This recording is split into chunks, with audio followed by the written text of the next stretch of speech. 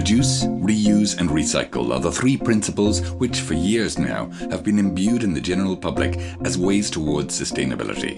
Public administrations can also apply these measures internally.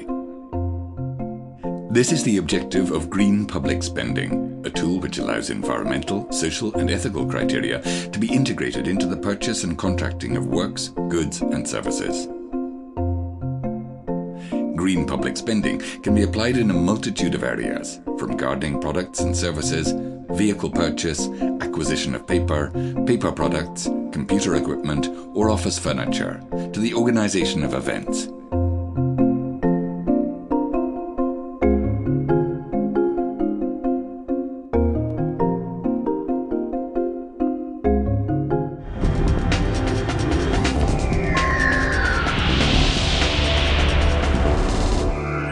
Papelarekin adibidez, e, eitzen dana da, e, resmasko papel zurixa e, birziklatuan erosi dana, euneko eun, eta paper ofiziala bebai e, erosten da dana euneko eun birziklatuan.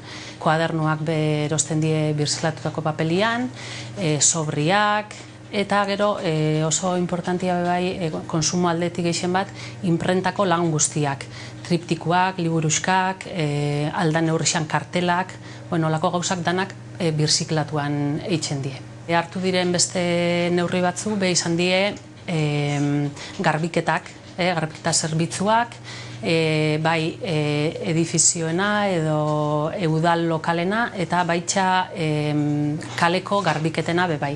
Guzti honen helburua da e, ba, ingurumenan alde ba, e, apostua egitzi, ez? E, alde batetik erosketa berdia eitzen dan momentuan e, zure konsumuak e, Euskat berdean edo bueno, bentsate irizpide batzukin eitzen die eta ingurumenian inpaktuak jeitsi die.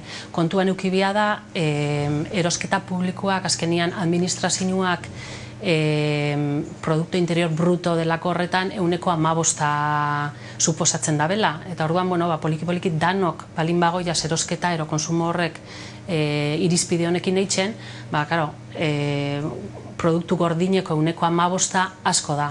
Orduan, bueno, ba, apostua da ingurumenan alde. Informatika ekipuei eta dagokien ez be, bueno, hainbat gauza indie, e, dagoeneko ez da erosten ba, impresorarik alde batetik bakarrik imprimatzen da benik, eh? ba, beti be e, duplesa ero alde bizetatik imprimatzen dira horrek gauza horrek e, derrigorrezkoa die, e, kontuan hartzen da olako ekipuak eta erosten dienian, bai e, e, ordenagailuak edo bai imprentarako e, fotokopiagailuak edo impresorak, toner aldetik ze kontsumo dauken, energia aldetik ze kontsumo dauken, da betik eitzen da konparatiba bat. Eh? Eta pligoak irtetzen dienian, bueno, ba, beti ba, baloratzen da energia eta tonerran konsumoa.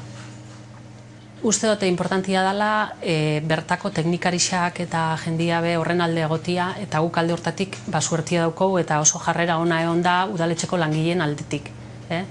Oin beste udaletxe bat dutzutan, ba, poliki-poliki. Nik uste dut dana da, gehixena bezala asigaz danok papelakin, eta poliki-poliki ba, jungo gaz e, garbiketa dala, edo kaleko garbiketak, e, edifizioak, proiektuak, eta bueno, poliki-poliki gauzak handitzen.